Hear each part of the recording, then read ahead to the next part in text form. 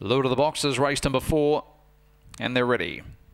Racing, Ostentatious came out quickly. Fast Answer shows early speed up on the inside. High Note drives into third and then followed by What Magic Cantiga. In behind them was Stoker up along with Sash One Flyer and near the rear was Aeroplane Benny off the back. Ostentatious the leader out by two lengths. Fast Answer then followed by High Note who runs into third in the straight. Ostentatious coming up on the inside. Fast Answer too late. Ostentation wins ahead. Fast Answer second. In third place was High Note either Cantiga or What Magic for fourth and then followed behind behind them next of all to Stoker up. Sash One Flyer was one of the last in with Aeroplane Benny.